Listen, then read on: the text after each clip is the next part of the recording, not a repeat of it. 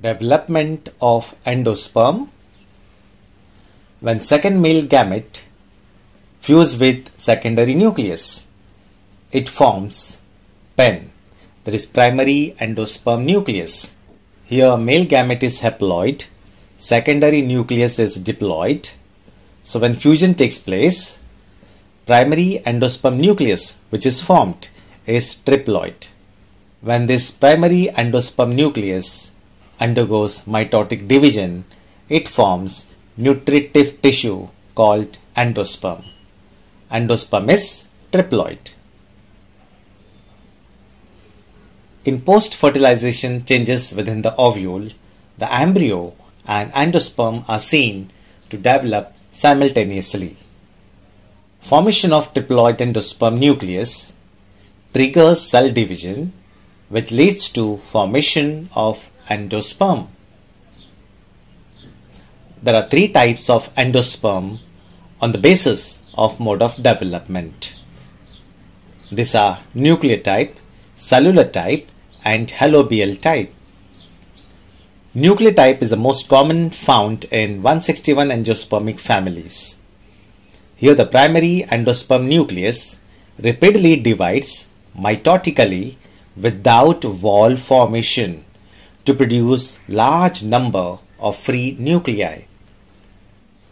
A big central vacuole appears in the center of the cell, pushing the nuclei towards the periphery. Later, walls develop between the nuclei, hence multicellular endosperm is formed. But in several cases, cell wall formation remains incomplete.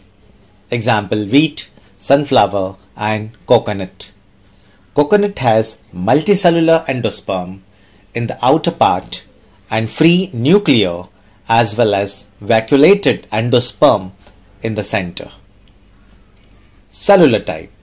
In some plants, division of diploid primary endospermic nucleus is immediately followed by wall formation so that endosperm is cellular right from the beginning. It is a mostly observed in 72 families of dicot example balsam petunia adoxa.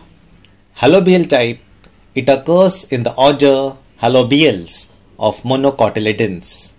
In this case, the first division of primary endosperm nucleus is followed by a transverse wall which divides the cell unequally. The smaller cell is called chalazal cell and larger cell is the micropylar cell. Then the nuclei in each cell divides by free nuclear division and then wall develop between nuclei in micropylar chamber. It is intermediate between cellular and nuclear type. Example, Asphodelus.